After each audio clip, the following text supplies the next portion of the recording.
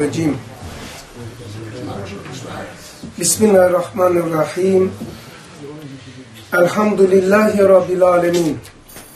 Ve salatu ve selam ala Resulina Muhammedin ve ala alihi ve sahbihi ecmain. Ala Resulina Muhammedin salavat. Seyyidina. Mevzumuz, dersimiz haşir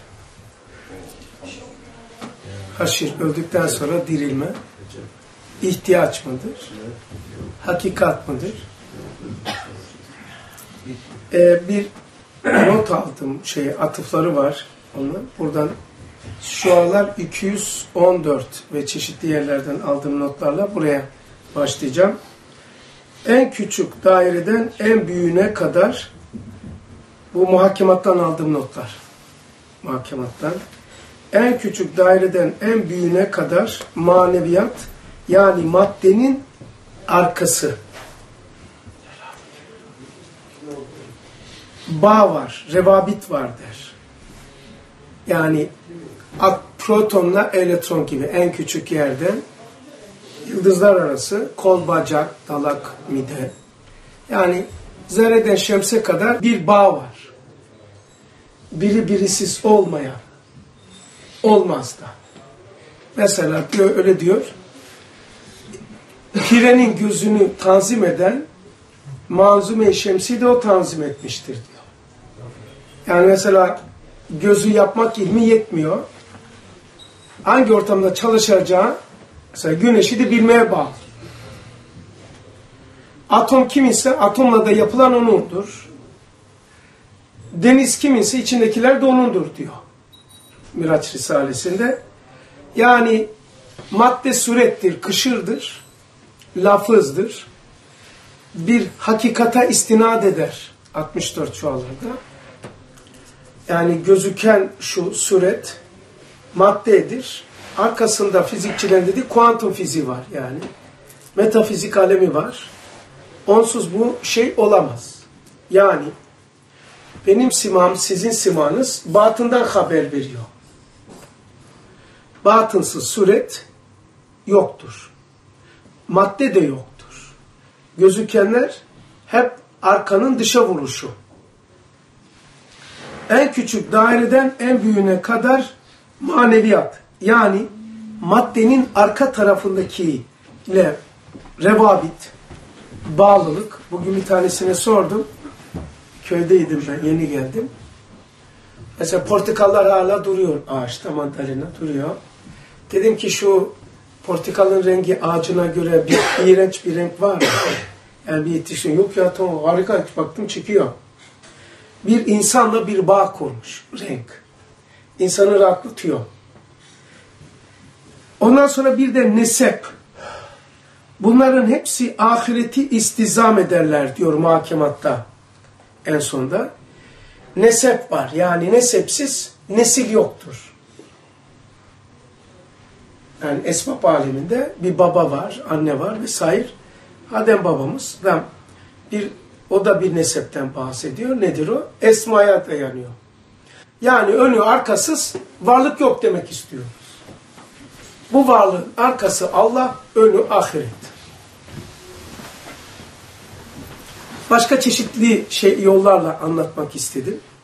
Bu varlığın arkası ve gördüğümüz dünyanın arkası ve önündeki ahiret. Başka bir maddenin hulasa. Biri birisiz olmazlar. Sanki mülk ile melekutun birbirleriyle olmak zorunda oldukları gibi. Varlığın arkası ve önü Adem'i sırf her şeyi abes eder diyor muhakematta. Yani varlık Adem-i sırf denilen e, yani mutlak yokluk. Yoktur çünkü bir ilmi muhit var. Allah'ın ilmi var. Zaten fiziğe de varlık anlayışına da zıttır.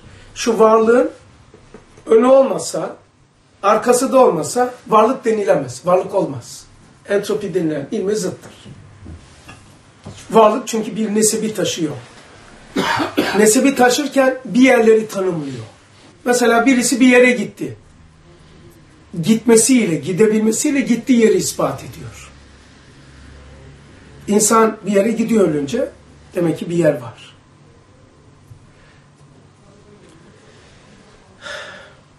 Diyor ki varlığın arkası ve önü, önü Adem'i sırf her şey abes eder. Zira hiçbir şeyde as, abes ve israf yoktur der muhakematta. Yani aşırı sazını. Kainata baktığımız zaman hiçbir şeyde abes ve israf yoktur. Abes ve israf yoktur. Peki ne demek istiyor? Yani madem dünyanın içerisindeki şeyler abes ve israf değil, eğer bu dünyanın sonunda ahiret yoksa dünya komple israf olur. Bu da zıttır. Eşyanın varlığın tabiatına zıttır. Hem mülke, sürete, ihtimam, batın ve ruhu içindir. Mesela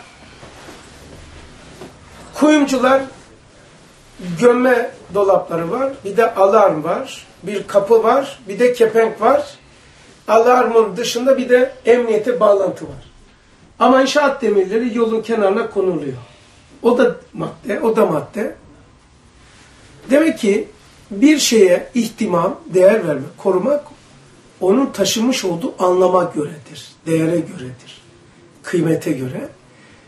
Şimdi bedene de yapılan diyor bu muamele ruh içindir. Taşıdığı anlama göredir.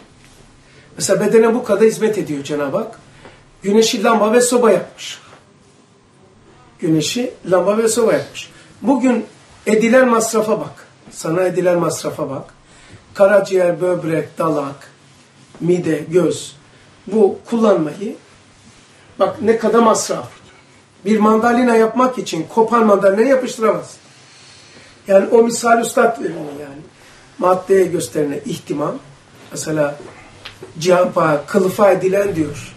İhtimam içindeki cevher içindir. Ben de misal verdim. İnşaat demirleri dışarıda. Altında demir, maddedir. O da maddedir. Ama o kadar koruyor. Ha, onun anlamı ve değerine göre ona değer veriliyor. İnsanın bedenine de yapılan ihtimam ve değer, besleme bu kadar masraf, arkasındaki anlam içindir, hakikati içindir ki ruhtur diyor. Altıncı maddede Resulullah diyor. Hem suretlerdeki suret suretteki hareket ve şekil ve suret batındaki mesela hemen şey yapayım uzun komplesini aldım. Sima. Hiç kesinlikle batınsız, arkasız ifade edemezsiniz bu simayı. Niçin herkesin siması farklı? Ruhu farklı. Batından haber veriyor. Peki batını, batın dışarıyı böyle oluşturuyor. Ee, nedir o batın? İnsanın içini oluşturan da meyil, ihtiyaç, iştiyak ve incizap. Bunu kitap okuyanlara söylüyorum. Bunun adı nedir? Dördü? Evamir-i tekviniye. Ruhu oluşturuyor. Evamir-i tekviniye dörttür. Meyil, ihtiyaç, iştiyak, incizap. Bu bizim e, ruhumuzdaki istidat ve kabiliyetlerimizi, istidat ve kabiliyetlerimizde dışarıdaki simamızı ve eylemimizi, konuşmamızı değiştiriyor. Yani dışarısındaki gözükenler, dışarıda gözükenler batının terişuatıdır. Şurada mesela tavandan su aksa, ya komşu herhalde yatak odasında musluğu unuttu demeyiz. demeyiz. Şuradaki su akıntısı ya mutfaktan ya da tuvaletten akıyor deriz. Bu bir. iki küçük küçük nüfus cüzdanları bir kütükten haber verdiği gibi işte tereşuatlar da yani dışarıdaki dışarıya sızan sızıntılar da batını taşıyor. Dışarıya sızan şu sima. Batınsız olur mu? Olmaz. Ha, insandaki aşkı beka e, meyli saadet ebediye yani insanda aşkı beka var, saadet ebediye var. Burada bu bizim istekler ve sistemdeki bu arzu meyil ahireti ispat ediyor. Çünkü dışa vuruş bu. Yani fani insanın fani insanın fani maddelerle yapılan bedeni beka isteyemez. İstiyorsa başka bir tarafı istiyor.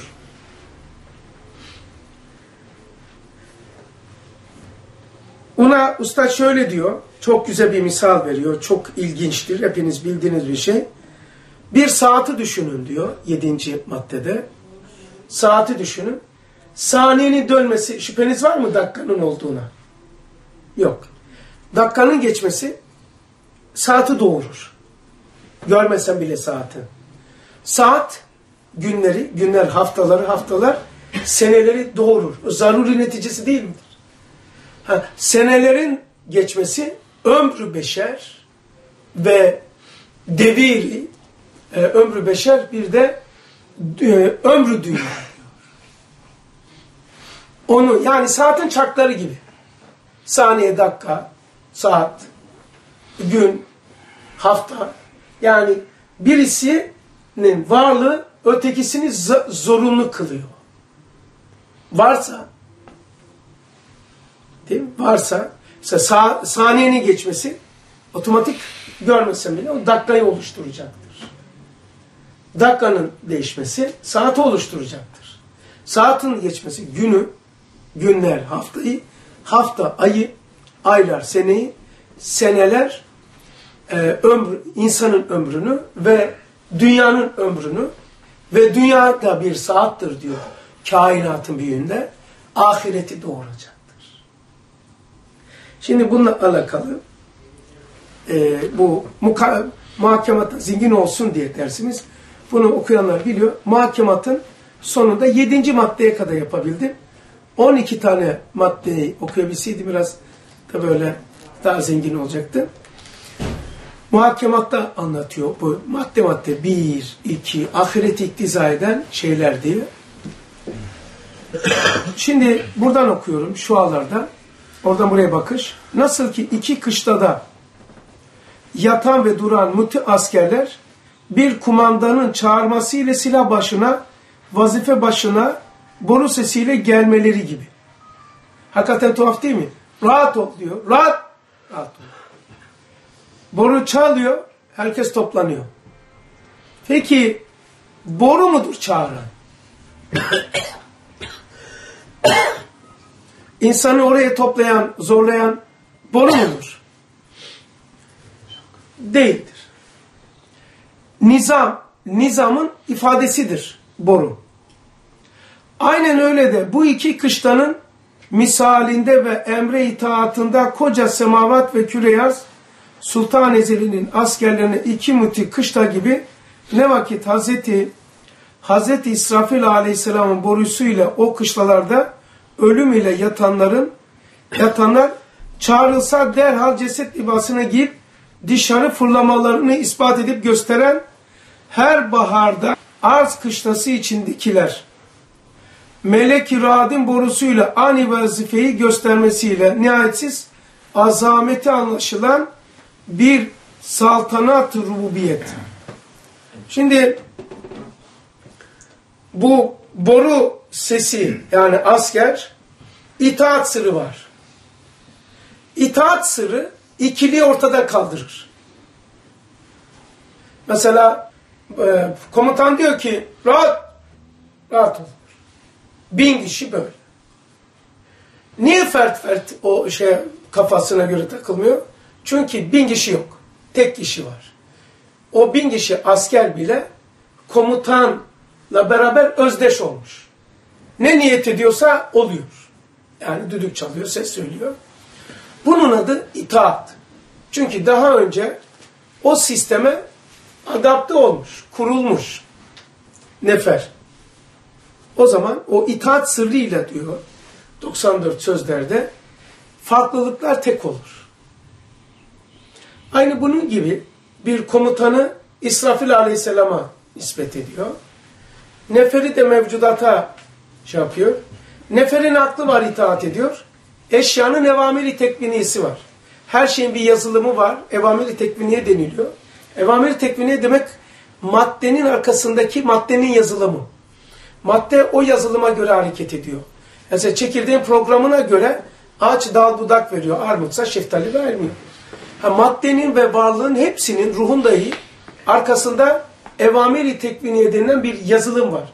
Ona göre hareket ediyor. Evamiri tekviniyenin içinde de meyil, ihtiyaç, iştiyak ve incizap denilen yapı sistemi var. Bununla yani Allah her hepsine tek tek söylemiyor yani. Veya diyor edemiyor, fark etmiyor. Merkezde bir komut veriyor. Şak diye bas şeye düştüğü gibi. Bütün sisteme düştüğü gibi. Başbakanlıktan bir tam, talimgah geliyor. Talim geliyor, emir geliyor. Bütün birimlere tak diye anında düştüğü gibi. Niye? Sistem daha önce kurulmuş. Emir verildiği zaman tak diye sistemlerine düşüyor. Mesela veya bir hastaneye gittiğiniz zaman isminiz işte TC numaranızda sistem istersen sirten bak. ilacı alırsın. Kime gittin hepsi belli. Sisteme düşüyor. Buna itaat sırrıyla Hz. İsrafil aleyhisselam borusuyla sistem yani boru sistem o kışlalarda ölüm ile yatanlar, yatanlar çağrılsa derhal ceset libaslarını giyip dışarıya fırlamalarını ispat edip gösteren her baharda arz kışlası içindekiler melek-i radın borusuyla aynı vaziyeti göstermeleriyle nihayetsiz azameti anlaşılan bir saltanat rububiyet. Yani bu gözümüzün önünde oluyor. Bir iddia değil bu. Baharda ölmüş olan mevcudat değil mi? Kışın ölmüş olan mevcudatı diriliyor. Yani mevcudatı ben kışın ölmüşü dirilteceğim demiyor. Yani dirilteceğim, vaat ediyorum demiyor. Vaat yani yapıyor zaten. Sistem kurulmuş zaten değil mi? Evet. Sistem kurulduğu için bir daha söylemesine gerek yok. Yok yani şu. Ben kışın ölmüşleri baharda dirilteceğim buna iman edin. Diyor mu demiyor. Yapıyor. Yani gözümüzün önünde yani. Ama olmamış olsaydı iman edin derdi.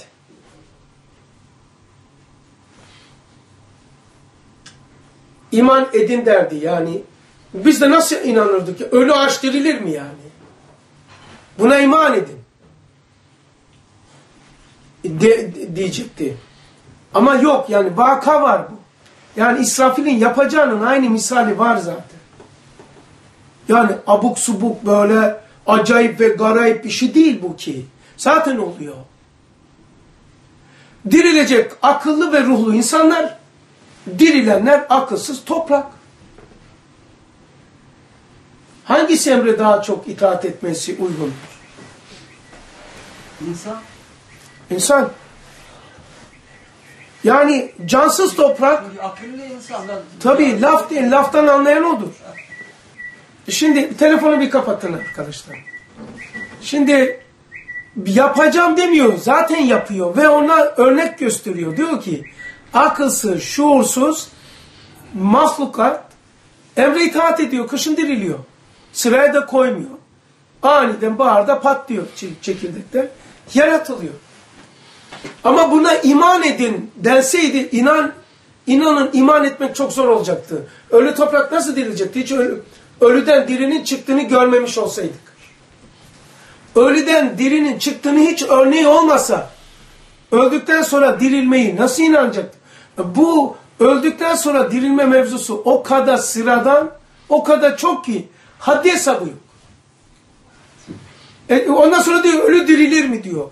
Bunu soran, soran adam ağzında ekmek var yani. Ölü dirilir mi? Bak ölü maddeleri diri diri dolaştığı halde. Ağzına ekmek var. Su içiyor. Ölüler diriliyor işte. Ağzında ekmek var. Ölü madde yiyor. Diri diri dolaşıyor. Ölüler dirilir mi diye soruyor. Sonra da ben akıllıyım diyor. Diyor. Evet emin. yani şu toparlıyor. Kur'an yani Kur'an yeni bir iddia yapıp da olmayan bir şey, nümunesi ve benzeri olmayan bir şey iman teklifini yapıp bizi zora koşmuyor. sıradan olan ve nihayetsiz olan ve sıradan bir şey olanı söylüyor. Diyor ki siz ölüydünüz, dirilttim. Öleceksiniz tekrar dirilteceğim. İkinci, diriltmek iadedir. Birincisi yeniden motoru icat etmek. Motoru yeniden icat etmek, yapmak. İkinci, yaratmak ise da, var olan motoru brandanın üzerine dağılmış toplayacağım diyor. E bu kadar yani. İnsan nümenesini zaten kendisinde yaşıyor, çevresini görüyor. Ölüler akılsızlar, şuursuzlar, gayesiz ve maksatsızlar. E, diriliyor mu? Diriliyor. Emre itaat ediyor mu şu gübre? E bugün gördüm yani. Hala gitmediği için etkilendim yani bayağı. Biraz daha. Portakalların orada olması. Yani iğrenç bir renk mi ya? Bak aman aman aman görmeseydim keşke. Ne kadar hoş Allah'ını seversen ya. En bak altına baktığın zaman gübreyi diriltmiş Allah, Allah portakal yaptı. Dese ki sizi şu gübre var ya gübre. He, buradan mandalinayı tasvir etse, tipini de söylemezse, dilimi şöyle olacak karabiber. Bundan bunu çıkartacağım iman edin. Vallahi çok zor iman ederdik. O hurma var ya hurmanın. Abdülkadir, Habi hurma. Onu dirilteceğim. Ha bu siyah çekirdeğini gösterse. Sonra bundan böyle bir ağaç. Böyle içi de lif.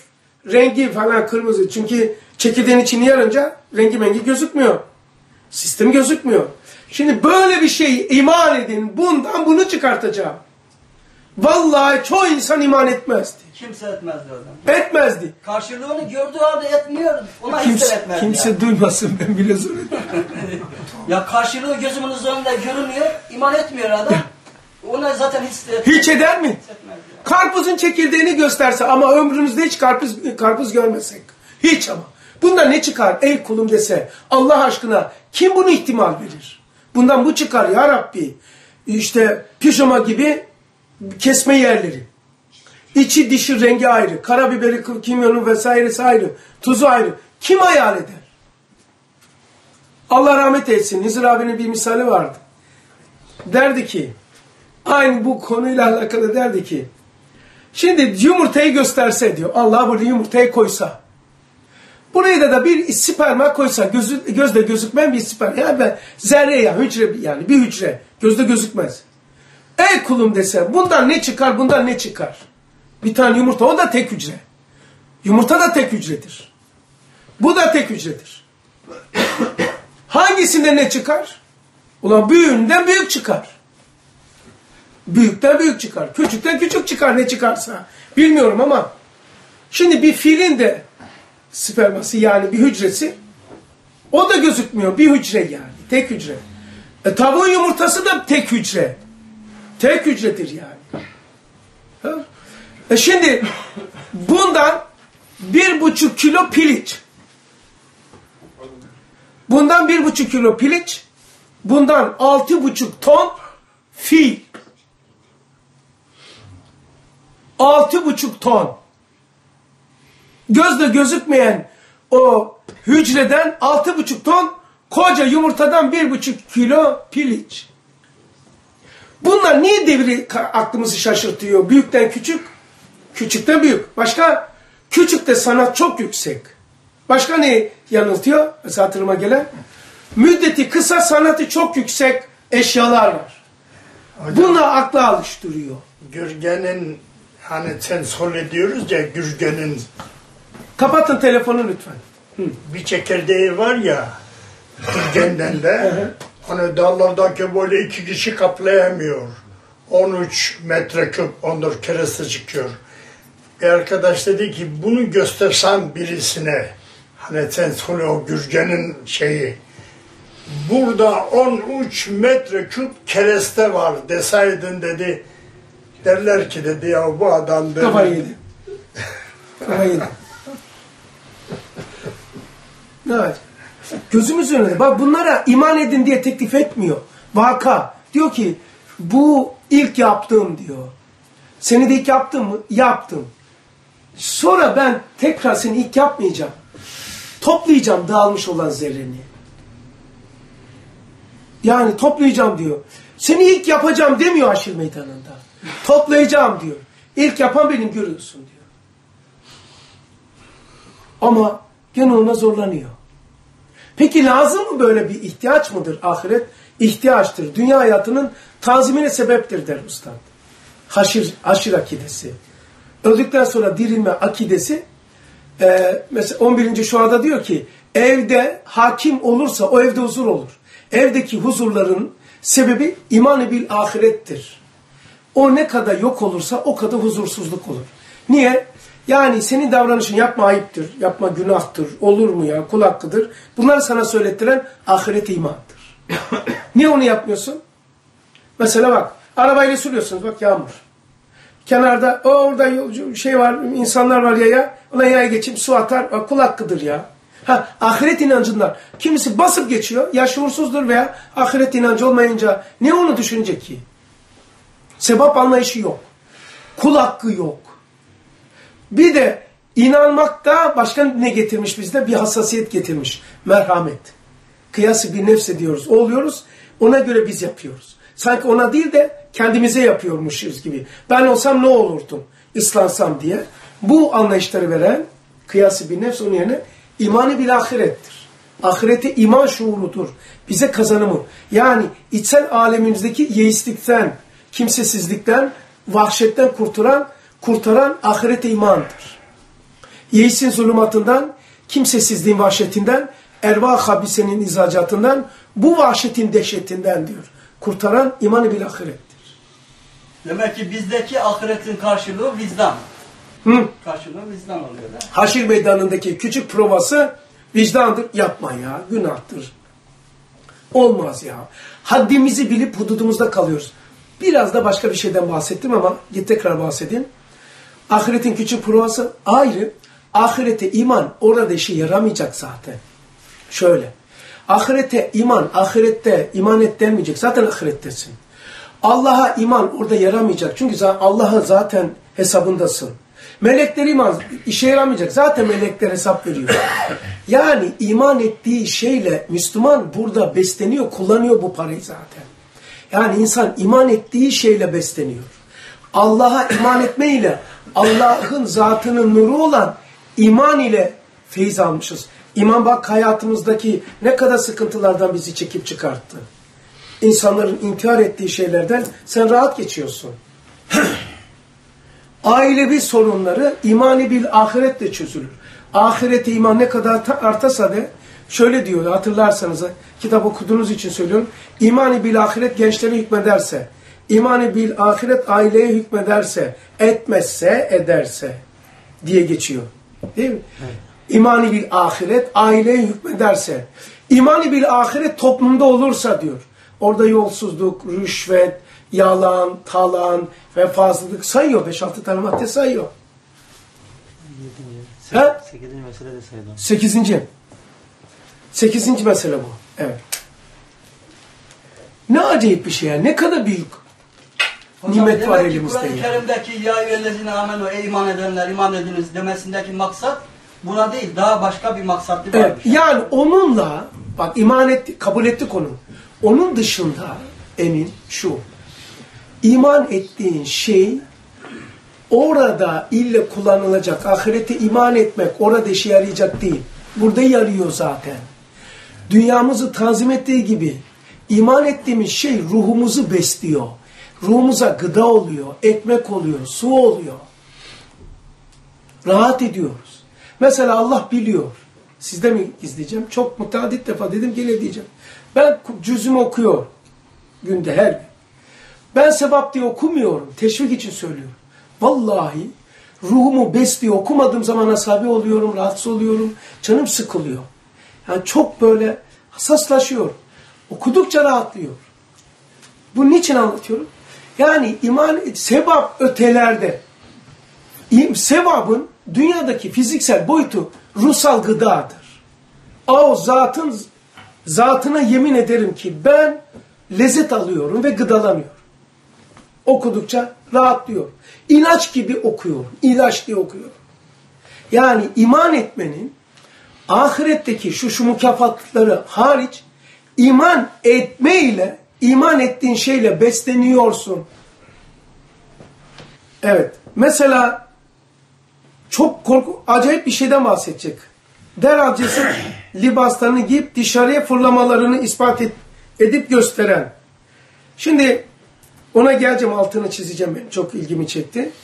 Askere diyorsun ya boruya basıyorsun yani öttürüyorsun. Pat diye toplanıyor.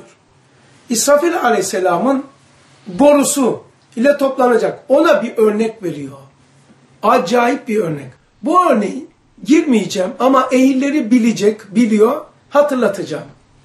Şimdi toprağın altında ölü bulunan çekirdekler gömülmüş, kefenlenmiş. Tamam mı abiler?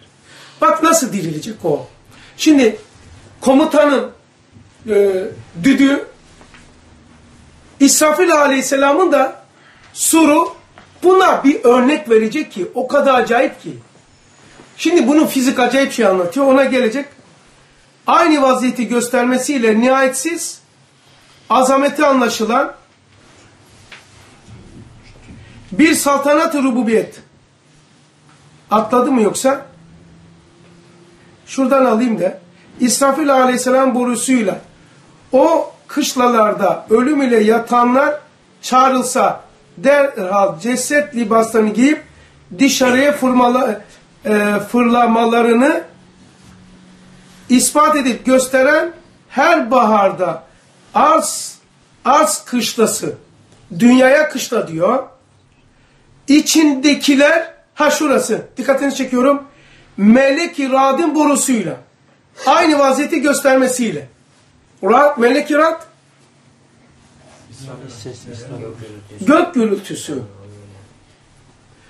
Gök gürültüsü için deniliyor ki, o kadar diyeceğim geçeceğim. O çekirdekteki bulunan yazılım var ya, Evamiri Tekvin ağaç programı. Ağacın programı. O da Evamiri Tekvin'in içinde ne vardı? Meyil, ihtiyaç, iştiyak ve incizam. Melek-i Rad'ın o sesi var ya, gırrrr, fuzuli bir ses değil, bir tanesi en mühim. O çekirdekteki e, yapının, sistemin sanki cep telefonlardaki titreşimi alıyorsunuz ya, onu titretiyormuş. O ilk hareket o veriyormuş. Patlamasına, hayat patlamasına sebebiyet veriyor. Peki bizde niye olmuyor? Yani peki burada telefon geldi.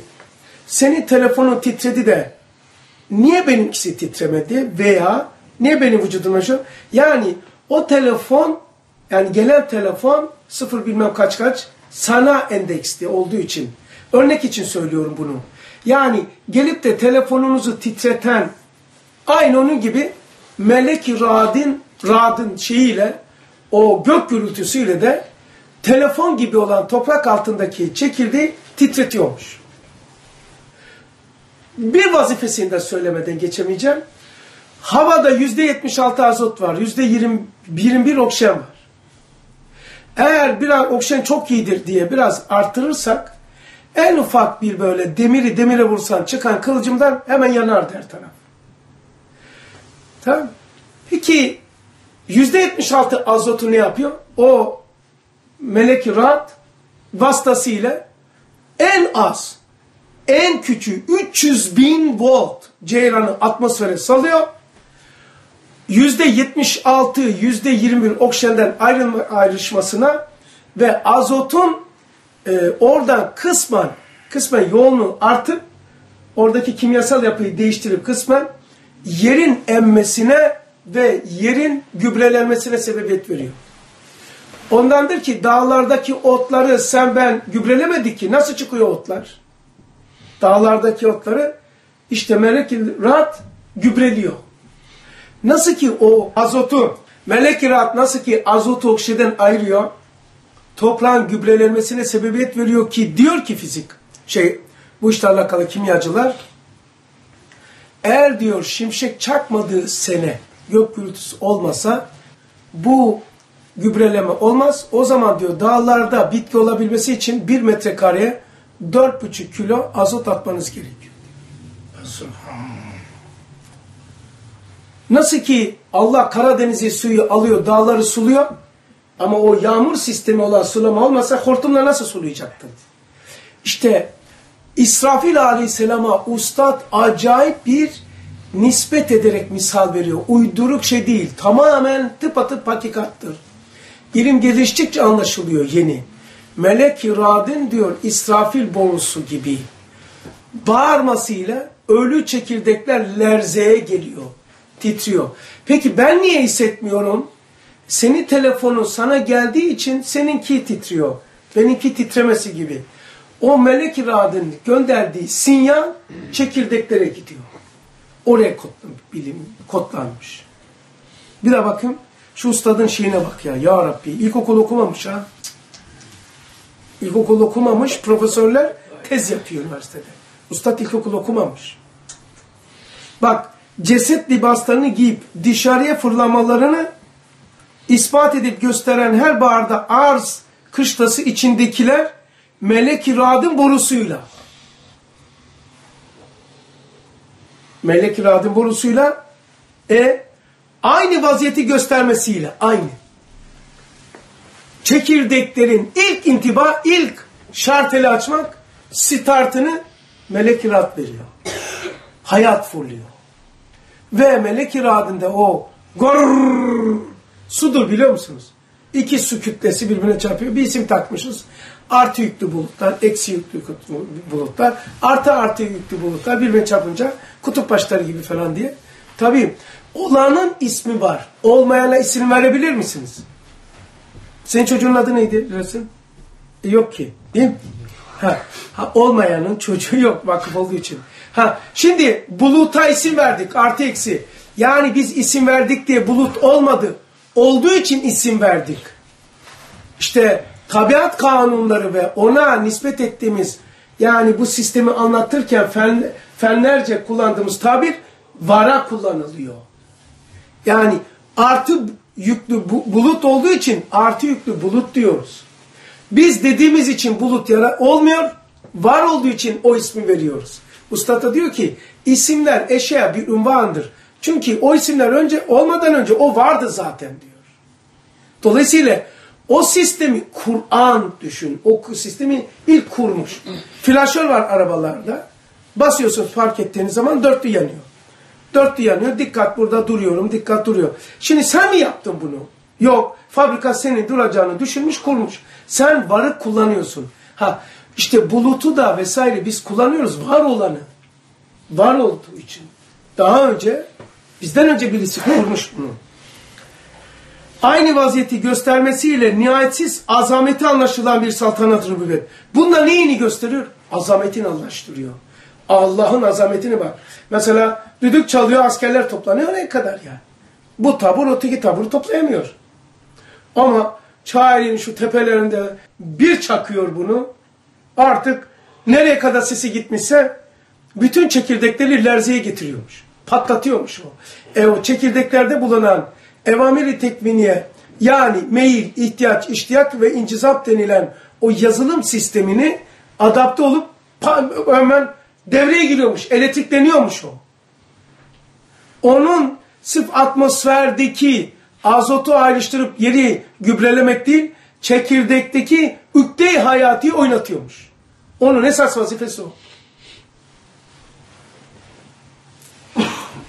Bununla neyi gösteriyor? azameti anlaşılıyor. Hakikaten Allah var. Bir insan uyduyu yapıyor da uydudan kaç milyon telefona sinyal, sinyal gönderiyor. İnsan Allah'ın yarattığı da harika bir misal. Allah şimdiye kadar katrilyonlarca insanlar öldü. İsrafil vasıtasıyla sürde onlara sinyal gönderemez mi Allah? Doğru. Şimdi işte doğrusu uyduyla, navigasyonla herkese farklı farklı sorusuna cevap veriyor. Kimisi en yakın cami nerede ben aradım geçen. En yakın cami nerede onu verdi. Kimisi eczane nerede yazıyor. Kimisi falan adresi gideceğim diyor. Hemen sana soruyor yakın mı uzak mı zaman mı şey vesaire. Peki milyonlarca insan bu soruyu soruyor uyduya. Telefonla hem şeklen hem seslen sana cevap veriyor. Şaşırtıyor mu? Yok beşerin yaptığı bir uyduyla zamansız ve mekansız nihayetsiz işi tek iş gibi yapması e peki bu aklı yapan Allah için normal değil mi artık bunun, bunun gibi bunun benzerini yapabilmesi? İnsan nasıl akıldan uzak gösteriyor? Hayır. Yani ilim ve teknoloji çıktıkça iman ettiğimizde şeyler açığa çıkıyor. Azameti rububiyetini gösteren elbette ve elbette ve herhalde ve hiç şüphe getirmez ki 10. sözde ispatına binaen o rahmet ve hikmet ve inayet ve adalet. 3-4 tane. Bak. Bu da acayip delil. Bak şimdi. Rahmet var mı? Allah dese ki ben rahmet size merhamet diyeyim. Hani fiil? Dese ki fiil zaten kendisi. Olmamış olsa. Bizi biliyor diyor birinci sözde rahmetiyle bildiğini biliyor. Rahmet var mı? Var tabi. Portakalı takmış. Rahmet var mı? Var. Hikmet var mı? Var. Tencereye koy rahmeti. Hikmeti koy. Hikmet yani her şey bir şey için. Mesela mandalinadaki dilim hikmetlidir. İnsan ağzı içindir. Mandalinadaki koku burun içindir. Bu kışın çok lazım. Asitlik özelliğine sahip ve sahip gibi. Her şeyden bu parmakların böyle kırık olması. Hikmet. Demek ki birincisi kainatta müstevli olan ondan delil gösterir ve keseceğim. Rahmet var mı? Var. Hikmet var mı? Var. İnayet var mı? Var. Yani vakti münasipte gelmesi inayeti gösteriyor. Mesela pirzola çok iyidir ama bebeğe zehirdir. Onu başka yollarla rızkını akıttırıyor. Kuşlara başka yollardan akıttırıyor. Bu da inayet. Vakti münasipte rızıklarını göndermek üç, üç etti. Sonra adalet. Her hak sahibinin hakkını veriyor. İhkakla hak ediyor. Yani buna hakkını veriyor. Gözün hakkını kainattaki sofraya kulağa ses vermiş. Dile lezzet vermiş. Yani adalet demek hak sahibinin hakkını ile vermek değil. Denge, muvazene, muhakeme demek. Muhakeme ve muvazene olması kainatta. Dört tane. Rahmet, Hikmet, hikmet, inayet, inayet, dört, adalet, adalet. Bir daha abiler. rahmet, Kudret. Rahmet, hikmet, hikmet, inayet, inayet, adalet. Karıştırıyoruz. Onunla neyi çıkartıyor? Saltanat-ı sermediyenin gayet katı ispat et- ettikleri dar ahiret. Saltanat-ı sermediye sahip olduğunu gösteriyor. Bu dört tane sistem. Bu yazılım sistemi. Rahmeti, hikmeti, inayeti ve adalet bütünü bunlar saltanat-ı sermediye. Yukarıdaki rububiyetini gösteriyordu. İsrafil aleyhisselam 10. ne? Saltanat-ı rububiyet bu saltanat-ı sermediye. Saltanat-ı rububiyetti o. İcraat. Bu icraatın arkasındaki zatı, niyetini gösteriyor. Yani mesela portakalı takarak ben sizden nefret ediyorum. Başınız devrilsin. Ne demek istiyor? Portakal takarak. Ben sizi çok seviyorum. Ben size değer veriyorum. Bu demek istiyor. Ne diyor yani? Mandalinayı takmış. A ağaca takmış. Ben sizden nefret ediyorum. Kahar mı? Görüntüsü. Ben sizi seviyorum. Sen söyle ya. O dalları onu takmış. Bu da saltanatı sermediyesinin gösteriyor. Böyle bir saltanat, böyle nazik ve nazinin mahlukunu böyle besleyecek, diriltme, dirilmemek üzere toprağa sokacak ve çıkartmayacak. Bu sefer ne rahmete, ne hikmete, ne inayete, ne adalete sığmaz. Hakikatlarına zıttırlar. Niye? 120 milyar insan yaratılmış diyor. Şimdiye kadar öyle diyor ehli. 8 milyarı şu anda dünyada yaşıyor. 112 milyar toprağın altında. Bunların akılları vardı ve bu akıllarının yapan Allah'tır. En az 120 milyar insanın aklını yapan aklı kül ilmi muhit. İnsana bu kadar ihtimam edecek, rahmet edecek, hikmet edecek, inayet edecek, adalet edecek. Sonunda öldürüp diriltmemek üzere çürütecek. 120 milyar insanın aklını yapan aklı kül diriltmemek üzere akılsızlık yapar mı? Bu akıl akılsızlık yapmaz. Çünkü benim aklım akılsızlık yapmadığına göre benim yazdığım kitabı yırtıp atmazsam aldığım maaşı bir ay uğraştım. Aldığım maaş bakayım nasıl yanıyor diyor. 200 liraya kimse kirbitle yakmazsa Aldın evi ve arabanı hiç yaktın mı? Yakarsan akıllı denilir mi? Sana verilen bir sistemle malını israf etmezsen, telef etmezsen, sana verilen bir akılla malına sahip çıkarsan, bunu sana veren Allah, bu aklı sana veren Allah, malına sahip çık demişse, acaba o malına sahip çıkmaz mı? Subhanallah. Seni diriltmemek üzere bu aklı israf ederek akılsızlık yapmış olmaz mı? Aklı çürütmüş. Akılsızlık olur. Ama böyle bir aklı, aklın ustasına bu akılsızlık haşa yakışmıyor. Olmuyor. Akıl bunu iktiza etmiyor. Çok acayip. Rahmetine, hikmet, inayet, adalet ve saltanat-ı sermediyenin gayet kat'i ispat ettikleri, ispat ettikleri dar ahiret. Vallahi dünyadan daha kesindir. Niçin daha kesin? Söyleyeyim. Su mu abiler? Su. Ama yok değil mi Fatih? Doldur. Şüphe, şey o sudan hidrojeninden ve oksijeninden şüpheniz var mı? Hangisi daha kesindir? Gözüken su daha kesin. Şu şöyle anlaşılır. Hangisi daha kesin, hangisi daha gerçektir denilirse o ortadan kalkınca hangisi yok oluyor? Hidrojen ve oksijen daha kesindir. Çünkü ortadan kalkınca su denen bir şey yok. Peki buz mu daha kesindir, su mu? Ama su gözükmüyor. Su daha kesindir. Nereden biliyoruz? Daha kıymetlidir, daha özdür, daha gerçektir, daha hakikattır. Çünkü suyu kaldırırsanız buz yoktur. Peki mülk ve melekut madde veya antimadde, şey metafizik. Madde ve metafizik. Yani fizik arkası. Kuantum fiziği diyorlar. Peki hangisi daha gerçek? Dibi daha gerçek. Çünkü bunlar surettir. Bunlar dış dışa vuruştur. Batının dışa vuruşları. Metafizik yoksa fizik yoktur. Çünkü metafizik dediğim şey odunun içerisindeki duman ve nur gibi, enerji gibi. Odun mu daha hakikat ve gerçektir? Odundaki duman ve nur, ışı, ısı, ışık mı?